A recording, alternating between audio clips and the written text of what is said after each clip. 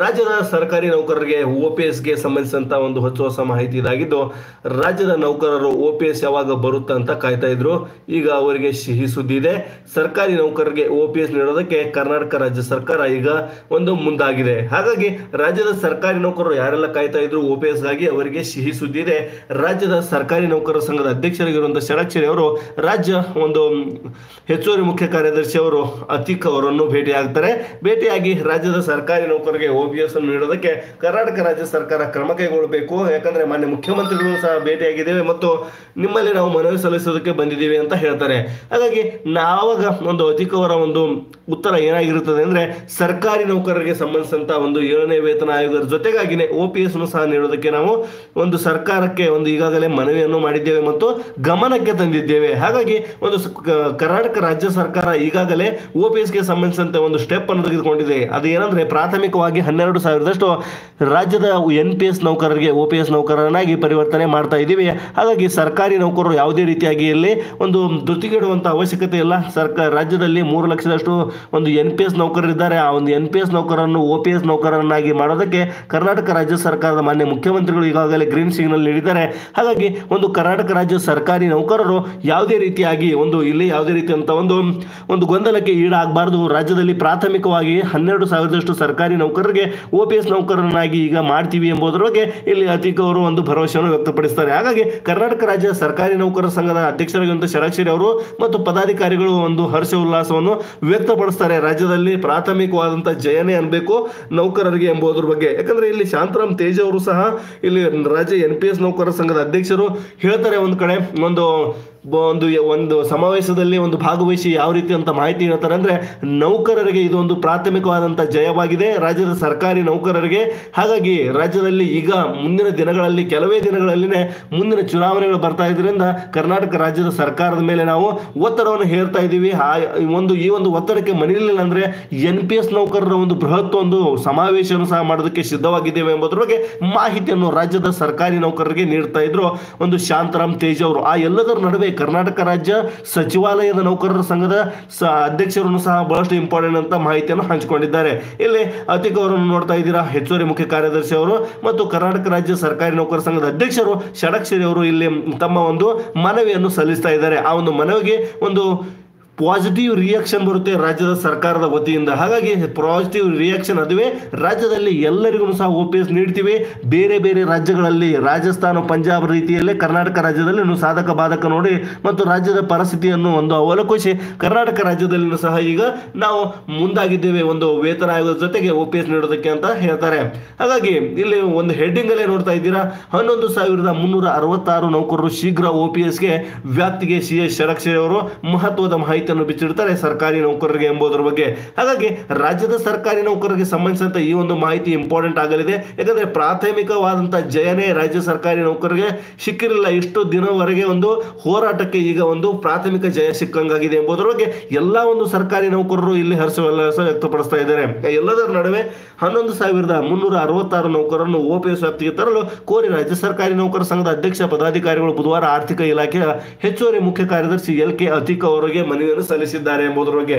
ಈ ಮನವಿ ಸಲ್ಲಿಸಿದಲ್ಲದೆ ಮನವಿಗೆ ಸಕಾರಾತ್ಮಕ ಸ್ಪಂದನೆ ನೀಡಿದ್ದು ಈಗಾಗಲೇ ಆರ್ಥಿಕ ಇಲಾಖೆ ಅನುಮೋದನೆ ಸಿಕ್ಕಾಗಿದೆ. ಹನ್ನೆರಡು ಸಾವಿರ ಸರ್ಕಾರಿ ನೌಕರರಿಗೆ ಒಂದು ಒ ಪಿ ಎಸ್ಗೆ ಸಂಬಂಧಿಸಿದಂತೆ. ಹಾಗಾಗಿ ಮಾನ್ಯ ಮುಖ್ಯಮಂತ್ರಿಗಳು ಹೇಳಿದ ಹಾಗೆ ಯಾರೂ ಕೂಡ ಇಲ್ಲಿ ಒಂದು ಸರ್ಕಾರಿ ನೌಕರರು ಇಲ್ಲಿ ವಿಚಲಿತರಾಗಬಾರದು ಅಂತ ಹೇಳಿದ್ದಾರೆ.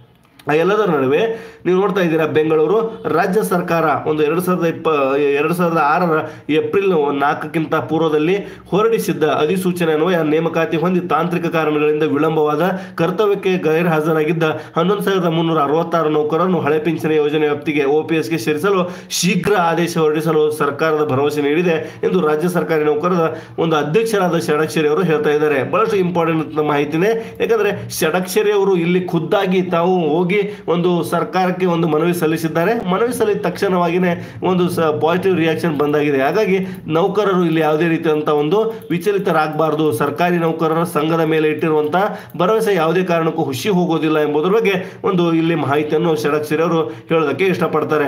ಮತ್ತು ಆರ್ಥಿಕ ಇಲಾಖೆ ಹೆಚ್ಚುವರಿ ಮುಖ್ಯ ಕಾರ್ಯದರ್ಶಿ ಎಲ್ ಕೆ ಅತೀಕ್ ಅವರನ್ನು ನೌಕರರ ಸಂಘದ ಪದಾಧಿಕಾರಿಗಳ ಜೊತೆ ಭೇಟಿಯಾದ ನಂತರ ಅವರು ಸುದ್ದಿಗಾರರೊಂದಿಗೆ ಮಾತನಾಡ್ತಾರೆ ಎಂಬುದರ ಬಗ್ಗೆ. ಏನಂದ್ರೆ, ನಾನು ಅವಾಗಲೇ ನಿಮಗೆ ಸಾಂದರ್ಭಿಕ ಚಿತ್ರವನ್ನು ತೋರಿಸಿದ್ದೇನೆ. ಎಲ್ ಕೆ ಅತೀಕ್ ಅವರನ್ನು ಭೇಟಿಯಾದ ತಕ್ಷಣ ಯಾವ ರೀತಿಯಾಗಿ ಹೊರಸು ಒಂದು ಒಂದು ಹುಮ್ಮಸ್ಸಿನಿಂದ ರಾಜ್ಯದ ಸರ್ಕಾರಿ ನೌಕರರಿಗೆ ಒಂದು ಸ್ಟೇಟ್ಮೆಂಟ್ ಅನ್ನು ಜಾರಿ ಮಾಡಿದ್ದಾರೆ ಎಂಬುದರ ಬಗ್ಗೆ ಹೊಸ ಪಿಂಚಣಿ ಯೋಜನೆ ಜಾರಿಗೂ ಮೊದಲು ಹೊರಡಿಸಿದ್ದ ನೇಮಕಾತಿ ಅಧಿಸೂಚನೆ ಅನ್ವಯ ನೇಮಕಾತಿ ಹೊಂದಿರುವ ನೌಕರರನ್ನು ಓಪಿಎಸ್ ವ್ಯಾಪ್ತಿಗೆ ಸೇರಿಸಲು ಕೇಂದ್ರ ಎರಡ್ ಸಾವಿರದ ಇಪ್ಪತ್ತ್ ಮೂರರಲ್ಲಿ ಕ್ರಮ ಕೈಗೊಂಡಿದೆ. ಅದಕ್ಕೆ ರಾಜ್ಯ ಸರ್ಕಾರಿ ನೌಕರ ಸಂಘ ಒಂದು ಒತ್ತಡ ಹೇರ್ತಾ ಬಂದಿತ್ತು. ಸರ್ಕಾರಿ ನೌಕರರಿಗೂ ಕರ್ನಾ ರಾಜ್ಯದಲ್ಲಿಯೂ ಸಹ ಮಾಡಬೇಕು ಅಂತ. ಅದರ ಒಂದು ಫಲಶ್ರುತಿಯಾಗಿನೇ ಹನ್ನೊಂದಕ್ಕಿಂತ, ಹನ್ನೊಂದು ಸಾವಿರಕ್ಕಿಂತ ಹೆಚ್ಚಿನ ನೌಕರರು ಓಪಿಎಸ್ಗೆ ಒಳಪಡ್ತಾ ಇದ್ದಾರೆ. ಹಾಗಾಗಿ ರಾಜ್ಯದಲ್ಲಿ ಕಡತ ಈಗಾಗಲೇ ಆರ್ಥಿಕ ಇಲಾಖೆ ಅನುಮೋದನೆಗೆ ಹಂತದಲ್ಲಿದೆ. ಮುಖ್ಯಮಂತ್ರಿಗಳ ಜೊತೆ ಚರ್ಚಿಸಿ ಶೀಘ್ರ ಆದೇಶ ಹೊರಡಿಸಲಾಗುವುದೆಂದು ಅತೀಕ್ ಅವರು ಭರವಸೆ ನೀಡಿದ್ದಾರೆ ಎಂದು ಹೇಳ್ತಾ ಇದ್ದಾರೆ ಷಡಕ್ಷರಿ ಅವರು.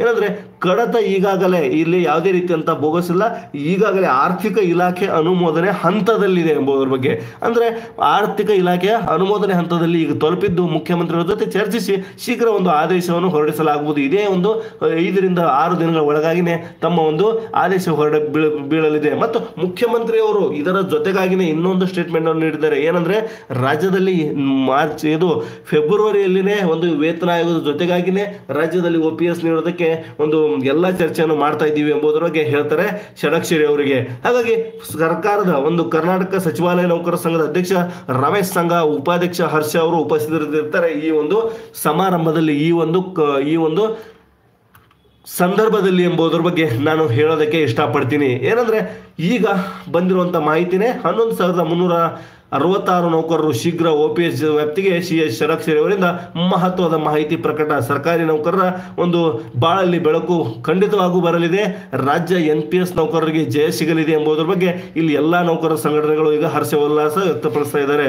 ಹಾಗಾಗಿ ನೌಕರರ ಸಂಘದ ವತಿಯಿಂದ ಈ ರೀತಿಯಾದಂಥ ಒಂದು ಪ್ರಶಂಸೆ, ಒಂದು ಒಳ್ಳೆಯ ಕಾರ್ಯ ಮಾಡ್ತಾ ಇರೋದ್ರಿಂದ ಸರ್ಕಾರಿ ನೌಕರರು ಈಗ ಒಂದು ತಮ್ಮ ಒಂದು ಎಲ್ಲ ಒಂದು ಹೋಪು ಈಗ ಡಬಲ್ ಆಗಿದೆ. ಸರ್ಕಾರಿ ನೌಕರರ ಮೇಲೆ ಇಟ್ಟಿರುವಂಥ ಒಂದು ಭರವಸೆ ಖುಷಿ ಹೋಗೋದಿಲ್ಲ ಎಂಬುದರ ಬಗ್ಗೆ ಸರ್ಕಾರಿ ನೌಕರರು ಹೇಳ್ತಾ ಇದ್ದಾರೆ. ಅದರ ಜೊತೆಗಾಗಿನೇ ನೌಕರರ ಸಂಘದ ಅಧ್ಯಕ್ಷರಾದಂಥ ಷಡಾಕ್ಷರಿ ಅವರು ಮುಂದಿನ ತಿಂಗಳಿನಲ್ಲಿ ಒಂದು ಬೃಹತ್ ಸಮಾವೇಶ ನಡೆಸಲಾಗುವುದು ಎಂಬುದರ ಬಗ್ಗೆ ಸಹ ಮಾಹಿತಿಯನ್ನು ಬರ್ತಾ ಇದೆ. ಹಾಗಾಗಿ ರಾಜ್ಯದ ಸರ್ಕಾರಿ ನೌಕರರು, ರಾಜ್ಯದ ಮಾನ್ಯ ಸಿ ಎಸ್ ಷಡಾಕ್ಷರಿ ಅವರಿಗೆ ಯಾವ ರೀತಿಯಾದಂತಹ ಒಂದು ಮನವಿಯನ್ನು ಸಲ್ಲಿಸುವುದಕ್ಕೆ ಮುಂದಾಗ್ತಾ ಇದ್ದಾರೆ. ಇಲ್ಲಿ ಸ್ಪೆಷಲಿ ಒಂದು ರಿಟೈರ್ಡ್ ಆಫೀಸರ್ಸ್ ಅಂಡ್ ಎಲ್ಲರೂ ಒಂದು ಇಲ್ಲಿ ರಿಟೈರ್ಡ್ ಅಧಿಕಾರಿಗಳು ರಾಜ್ಯದ ಸರ್ಕಾರಿ ನೌಕರರಾಗಿ ಸೇವೆ ಸಲ್ಲಿಸಿ ಈಗಾಗಲೇ ಪಿಂಚಣಿ ಪಡಿತಾ ಇರುವಂತಹ ನೌಕರರಿಗೆ ಯಾವ ರೀತಿಯಾದಂತಹ ಒಂದು ಒಳ್ಳೆಯ ಒಂದು ಕೆಲಸ ಮಾಡಬೇಕು ಒಳ್ಳೆಯ ರೀತಿಯಾದಂಥ ಒಂದು ಯಾವ ರೀತಿಯಾದಂಥ ಒಂದು ಹೆಚ್ಚಿನ ಒಂದು ಒಂದು ಸೌಲಭ್ಯಗಳು ಒದಗಿಸಬೇಕು ಎಂಬುದರ ಬಗ್ಗೆ ಅವರ ಒಂದು ಮನವಿಗಳು ಏನೇನಿದಾವೆ ಸರ್ಕಾರದ ಮುಂದೆ ಎಂಬುದರ ಬಗ್ಗೆ ದಯವಿಟ್ಟು ಕಮೆಂಟ್ಸ್ ಅಲ್ಲಿ ತಿಳಿಸ್ತಾ ಹೋಗಿ. ಸಿಗೋಣ ಒಂದು ನೆಕ್ಸ್ಟ್ ವಿಡಿಯೋದಲ್ಲಿ ನೆಕ್ಸ್ಟ್ ಅಪ್ಡೇಟ್ಸ್ಗಳೊಂದಿಗೆ ಎಲ್ಲರಿಗೂ ಧನ್ಯವಾದ. ರಾಜ್ಯದಲ್ಲಿ ಪ್ರಾಥಮಿಕವಾಗಿ ಹನ್ನೆರಡು ಸಾವಿರಕ್ಕಿಂತ ಹೆಚ್ಚಿನ ನೌಕರರಿಗೆ ಒ ಪಿ ಎಸ್ ಸಿಗ್ತಾ ಇದ್ದು, ರಾಜ್ಯದಲ್ಲಿ ಇದೊಂದು ಪ್ರಾಥಮಿಕ ಜಯ ಅಂತ ಎಲ್ಲ ನೌಕರರ ಸಂಘಟನೆಗಳು ಈಗ ಘೋಷಣೆ ಮಾಡಿವೆ. ಹಾಗಾಗಿ ರಾಜ್ಯದಲ್ಲಿ ಮುಂದಿನ ತಿಂಗಳಿನಿಂದಲೇ ಎಲ್ಲ ಎಲ್ಲಾ ಸರ್ಕಾರಿ ನೌಕರರಿಗೆ ಒ ಪಿ ಎಸ್ ಸಿಗುವ ಎಲ್ಲ ಒಂದು ಲಕ್ಷಣಗಳು ಕಂಡು ಬರ್ತಾ ಇದ್ದು, ರಾಜ್ಯದಲ್ಲಿ ಒಂದು ಏನಂದ್ರೆ ಮಾನ್ಯ ಮುಖ್ಯಮಂತ್ರಿಗಳು ಹೇಳಿದ ಹಾಗೆ ಬೇರೆ ಬೇರೆ ರಾಜ್ಯಗಳಲ್ಲಿ ಈಗಾಗಲೇ ನಾವು ಪರಿಶೀಲನೆ ಮಾಡ್ತಾ ಇದ್ದೀವಿ. ಆ ರಾಜ್ಯಗಳ ಪರಿಶೀಲನೆ ತದನಂತರ ತ್ರಿಸದಸ್ಯರ ಪೀಠ ಒಂದು ಒಂದು ಅವ- ಅವರ ಒಂದು ವರದಿ ನೀಡಿದ ತಕ್ಷಣ ರಾಜ್ಯದಲ್ಲಿ ಸಾಧಕ ಬಾಧಕಗಳನ್ನು ನೋಡಿ ಓ ಪಿ ಎಸ್ ನೀಡ್ತೀವಿ. ಎಲ್ಲ ಸರ್ಕಾರಿ ನೌಕರರಿಗೆ ಎಂಬುದರ ಬಗ್ಗೆ ಮಾಹಿತಿಯನ್ನು ನೀಡಿದ್ದಾರೆ. ದಯವಿಟ್ಟು ಮಾಹಿತಿ ಇಲ್ಲಿ ರಿಟೈರ್ಡ್ ಯಾರೆಲ್ಲ ಒಂದು ಸರ್ಕಾರಿ ನೌಕರರಿದ್ದಾರೆ, ಅವರ ಒಂದು ಯಾವ ಒಂದು ಬಹಳಷ್ಟು ಜನ ಕೇಳ್ತಾ ಇದ್ರು, ಒಂದು ರಿಟೈರ್ಡ್ ಒಂದು ಸರ್ಕಾರಿ ನೌಕರರಿಗೆ ಯಾವ ರೀತಿಯಾದಂಥ ಒಂದು ಒಂದು ಉಡುಗೊರೆ ನೀಡ್ತಾರೆ ಸರ್ಕಾರ ಎಂಬುದ್ರ ಬಗ್ಗೆ. ನಿಮ್ಮ ಒಂದು ಬೇಡಿಕೆಗಳು ಯಾವ ರೀತಿಯಾಗಿದೆ ಎಂಬುದರ ಬಗ್ಗೆ ದಯವಿಟ್ಟು ಕಮೆಂಟ್ಸ್ ಅಲ್ಲಿ ತಿಳಿಸಿ. ಸಿಗೋಣ ನೆಕ್ಸ್ಟ್ ವಿಡಿಯೋದಲ್ಲಿ ನೆಕ್ಸ್ಟ್ ಅಪ್ಡೇಟ್ಸ್ಗಳೊಂದಿಗೆ ದಯವಿಟ್ಟು ಮಾಹಿತಿಯನ್ನು ಎಲ್ಲರಿಗೂ ಶೇರ್ ಮಾಡಿ. ರಾಜ್ಯದ ಸರ್ಕಾರಿ ನೌಕರರ ಒಳತಿಗಾಗಿರುವಂಥ ಈ ಒಂದು ಮಾಹಿತಿ ನೌಕರರಿಗೆ ಎಲ್ಲರಿಗೂ ತಲುಪಬೇಕು. ಯಾಕಂದ್ರೆ ಈಗಾಗಲೇ ಓ ಪಿ ಎಸ್ ನೀಡುವ ಎಲ್ಲ ಸಿದ್ಧತೆಗಳು ಬರ್ತಾ ಇದ್ದು ರಾಜ್ಯದಲ್ಲಿ ಇದೊಂದು ಪಾಸಿಟಿವ್ ರಿಯಾಕ್ಷನ್ ರಿಯಾಕ್ಷನ್ ಅನ್ಬೇಕು. ಯಾಕಂದ್ರೆ ಮುಂದಿನ ದಿನಗಳಲ್ಲಿ ಚುನಾವಣೆಗಳು ಬರ್ತಾ ಇದರಿಂದ ರಾಜ್ಯದ ನೌಕರರು ಈ ರೀತಿಯಾದಂಥ ಒಂದು ಒಂದು ಬೋಲ್ಡ್ ಸ್ಟೆಪ್ ತಗೊಂಡಿದ್ರಿಂದ ಸರ್ಕಾರಿ ನೌಕರರಿಗೆ ಇಲ್ಲಿ ಒಳ್ಳೇದಾಗಲ್ಲ, ಒಳ್ಳೇದಾಗ್ತಾ ಇದೆ ಎಂಬುದರ ಬಗ್ಗೆ ಮಾಹಿತಿ ಬರ್ತಾ ಇದೆ. ಸಿಗೋಣ ನೆಕ್ಸ್ಟ್ ವಿಡಿಯೋದಲ್ಲಿ ನೆಕ್ಸ್ಟ್ ಅಪ್ಡೇಟ್ಸ್ ಎಲ್ಲರಿಗೂ ಧನ್ಯವಾದ.